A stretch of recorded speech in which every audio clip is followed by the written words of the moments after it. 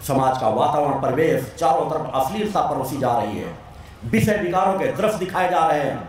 नारी जो हजब हमारे लिए सदैव श्रद्धा के पात्र रही है, सदैव ऊँचा स्थान दिया गया है। नारी के सम्मान के लिए हज़ारों हज़ार पुरुषों ने अपना बलिदान दिया है कि अपने परिवार में कुदृष्टि डालने वालों की आँख फोड़ने की क्षमता रखते थे। केवल इसीलिए कि नारी हमारी सम्मान की पात्र है। हमें कुछ हो जाए हो जाए मगर हम नारी की ओर कुदृष्टि देखने वाले की भी आँख निकालने की क्षमता रखते हैं। वह विचार शक्ति पैदा करो। अपने गृहस्थ को संवारो। अपने बच्चों को बचपन से दिशा दो। बचपन से यदि उन्हें धर्म अध्यात्म के कर्म में रखोगे तो वे कभी नहीं भटक पाएँगे। आध्यात्मिक जीवन जीने वाले बच्चों के जीवन में भटकाव नहीं आता। चूँकि संस्कार जिस तरह शरीर के लिए आहार आवश्यक है, उसी तरह शरीर के लिए साधना, तब पूजन पाठ ये उससे कई गुना ज़्यादा आवश्यक है। क्योंकि हमारी चेतना को, हमारी सुषमना नाड़ी को, हमारी प्राण शक्ति को, सात्विकता ही एक उसका आहार है। आप सात्विकता की चीज़ें नहीं डालोगे तो आवरण पड़ते चले जाएँगे भौतिक जगत के। धीरे धीरे करके आवाज़ उठाओ कि अपने आसपास के समाज में।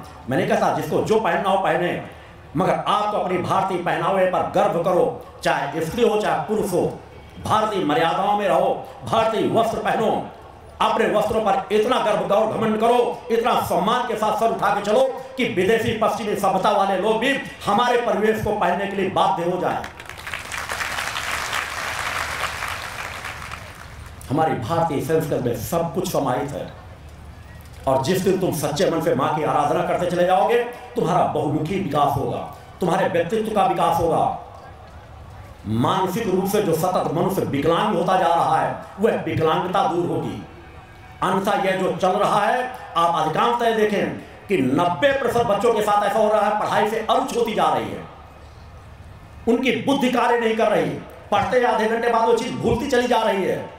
और ग्रामीण जीवनों में जाकर के देखो, सौ घरों में शायद दो चार घर के बच्चे ही पढ़ करके हाई स्कूल के आगे जा पाते हैं। जन दर जन बच्चों की मानसिक क्षमताएँ कमज़ोर होती जा रही हैं।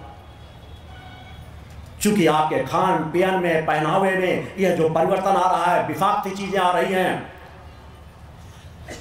वह आपके मस्तिष्क को सतत कमज़ोर करे, आपकी बौद्धिक क्षमता को कमज़ोर करे, आपके सोचने समझने की क्षमता को कमज़ोर करे, आपकी सुषुम्ना नाड़ी को दबाव में ले रही है और धीरे धीरे सुषुम्ना नाड़ी जो जो मंद होती जाएगी, प्राण चेतना जो जो मंद होती जाएगी, आपका पतन सतत सभी क्षेत्रों से होना शुरू हो जाता है। अतः गृहस्थ से ही उसे संवारो। माता महेश वर्धनी की आराधना सच्चा, सच्चाई निष्ठा विश्वास रखो। कभी बलिकरण मत दो, कभी मांस मत चढ़ाओ।